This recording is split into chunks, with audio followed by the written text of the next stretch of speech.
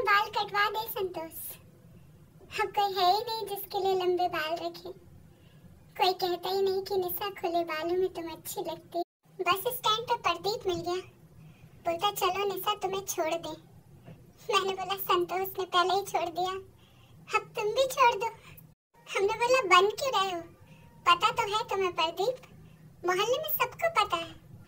पर्चे बटे हैं भैया, संतोष की बेवफाई के। हमारी मम्मी ने काला धागा बाँध दी।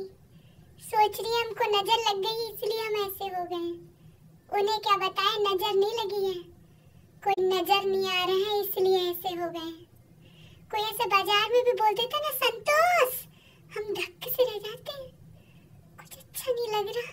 कल साहब छत में ना तीन घंटा झाड़ू लगाई है कि तुम दिख जाओ। पर हमारी किस्मत तो साला भगवान